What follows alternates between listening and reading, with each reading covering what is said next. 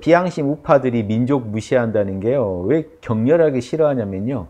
비양심 우파 그러면 극우예요. 민족 얘기하면 바르르 떨어요. 극우들은. 왜 그러게요?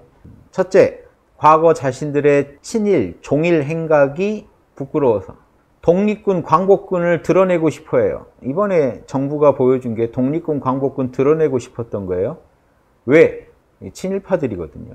자본 축척을 일본 도움으로 한 거예요. 지금의 자신들이 누리는 부의 성취, 그리고 그 부의 독점이 언제 일어났느냐?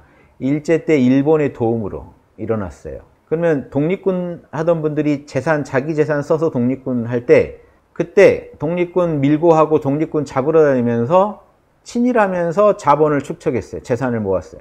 그러니까 독립군 광복군을 띄운다는 거는 자기들의 과거를 조롱하고 무시하고 비웃는 게 돼요. 그 자체가 불쾌한 거예요. 민족 얘기 자체를 싫어합니다. 그래서. 두 번째, 민족 그러면 지금 좌파들이 만약에 민족을 얘기하는데 만약에 대종교에서 민족 얘기하면 항의를 한 게 아니라 자기들은 종일 친일을 했기 때문에 창피한 거고요. 좌파들이 민족 얘기를 하면요. 제일 걸리는 게 뭐냐면 북한이 하는 민족 얘기를 따라한다고 생각해요. 민족 해방론을 북한에. 따라서 민족 그러면 북한이 우리 편이 돼요. 같은 민족이니까.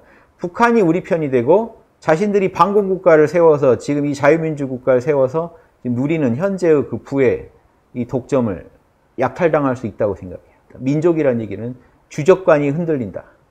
그러니까 좌파들의 민족주의에 이제 뭔가 알레르기 반응을 일으키는 거죠.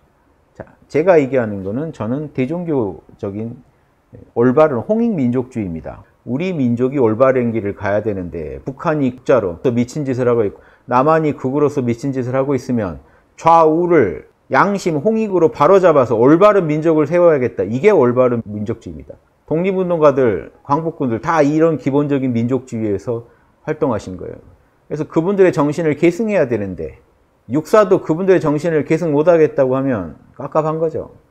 우리 민족이라는 이 말이 무섭게 들리는 그분들은 다른 배경이 있어서 그래요. 일제 때 어, 일본에 붙어 먹었고 그리고 지금 북한 공산당이 주장하는 민족관이 두려운 거예요. 이 후자는 이해가 되는데 전자는 이해가 안 되죠. 그러면 일본 덕에 자본을 축척했으니 친일이요, 종일이요. 또 해방 후에는 대한민국 속에서 미국 덕에 자본을 또 축척했으니 또 종미, 친미를 안 할 수가 없죠. 한미동맹에 목숨 안 걸 수가 없죠. 그분들의 그 입장은 그렇다고요. 이분들이 이런 입장이 다 틀렸다는 게 아니라 그분들이 살아온 삶의 결에서는 이런 식으로 생각할 수밖에 없다. 먼저 이해가 먼저잖아요. 비판보다는 이해가 먼저입니다. 이해. 왜 저분들은 민족하면 알레르기 반응을 일으키지? 왜 이렇게 시겁해야지?